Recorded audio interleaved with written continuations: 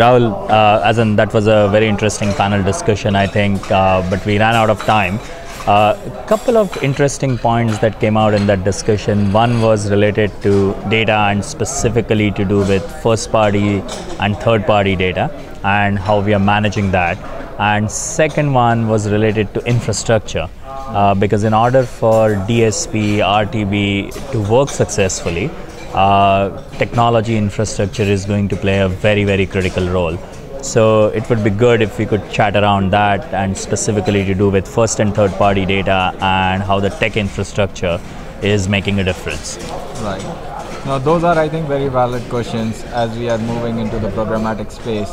So if I look at the data, I think uh, the important thing that is to realize is we are moving away from site level targeting to audience targeting. And how do you identify audience? that is the critical question that one has to ask.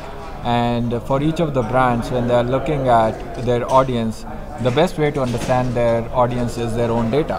And that data may be logged in their website, the data may be logged in their CRM systems, the data may be hiding behind their enterprise uh, data warehousing solutions. So I think it is important as we uh, in Asia move towards more and more audience level targeting. People start to firstly unlock the data that they have in their own uh, systems uh, and bring it together and start to use that to understand both their customers better as well as start to use them uh, to optimize their advertising campaigns and set marketing objectives uh, using that data. The third party data, I think it gets you to the next level of sophistication uh, as you go down the marketing funnel because uh, how do you relate to, for example, um, a person who has booked a business class flight from Singapore and to Hong Kong? Now, if as a hotel I had that information, uh, could I better target my campaigns uh, using that data? And that's where I think having personal, secure information in an anonymized fashion available as third party could help you as hotel in this specific specific case optimize your marketing campaigns further. And what do you think are the barriers to unlocking first party data? As in, everybody is talking about first party data, but uh, you know, industry is yet to see examples where uh, some organization has actually unlocked it and leveraged the power of it. What do you think is the barrier? So I think we are living in again uh, two level types of customers. One who are super sophisticated. If I take the example of OTAs, e-commerce websites, they use extensively their first-party data, and then there are advertiser verticals which are still grappling with the how do you, they use this data. Uh, I think the barrier is first of the mindset. Uh, they need to get out and understand the value of data and the second thing is uh, start to work closely between uh, the marketing guy and the technology guy to make sure that they are able to bring these uh, data pieces together. Uh, obviously, in the panel, there was a discussion around how do you uh, uh, protect the privacy of the users. I think each of the advertisers need to be cognizant to that, and therefore make sure that uh, any data leverage that they're doing is uh, not breaching on any of the privacy policies of the user. Specifically on the third party data, there is a lot of third party data available in the market. Uh, and there is a lot of conflicting data available in the market when you're using it.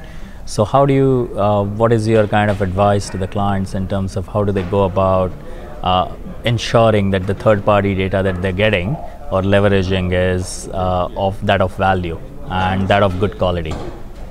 Uh, firstly, I think uh, we continue to have limited third-party data in uh, uh in Asia. Uh, I think we can do with more of it. Uh, the second thing is, which you asked, like when you start to get multiple third-party data segments, how do you determine which one to use and which one will work for you?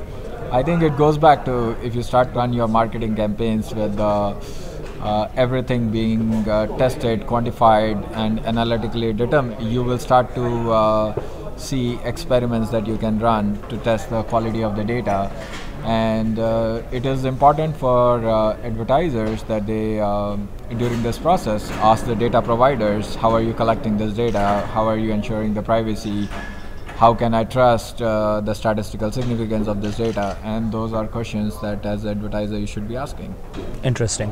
In terms of infrastructure, in order for RTB, programmatic, DSP, all of that to work seamlessly and actually work in real time, infrastructure plays a huge, huge role in terms of the tech infrastructure, Right. uh, in terms of data centers, uh, what are being used at the agency end, the publisher end, the uh, DSP end. Uh, uh, what do you think is the current situation in Asia Pacific, as in uh, from an infrastructural standpoint?